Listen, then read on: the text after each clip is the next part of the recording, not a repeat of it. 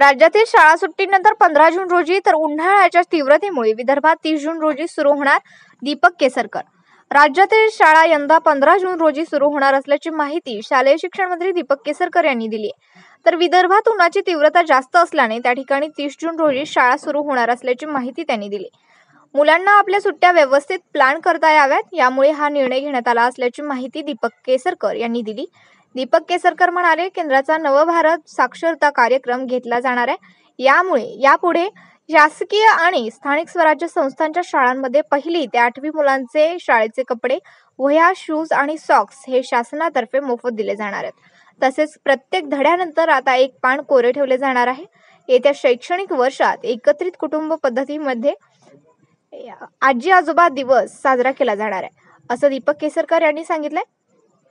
ते म्हणाले की राष्ट्रीय शैक्षणिक धोरणाच्या माध्यमातून विद्यार्थ्यांना व्यावसायिक शिक्षण दिले जाणार. वीस मे पर्यंत सर्व त्रुटी पूर्ण करणाऱ्या शिक्षकांना अनुदान देण्यात येणार आहे. शिक्षक सेवकांच्या पगारात वाढ करण्यात आली आहे. शिष्यवृत्तीमध्येही वाढ करण्यात आली आहे. मुलांना नेहमी एक शाळा कधी सुरू होणार याच्याबद्दल संभ्रम असतो. आणि त्याच्यामुळे बऱ्याच वेळेला त्यांना आपल्या सुट्ट्या प्लॅन करता येत नाहीत. आणि त्याच्यामुळे आम्ही असा निर्णय घेतलेला आहे.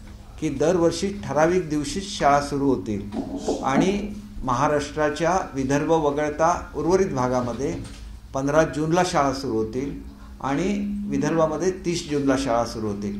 अर्थात या दिवशी जर रविवार आला तर मग त्याच्या दुसऱ्या दिवशी या शाळा सुरू होतील. Bureau report SBN Marathi Mumbai.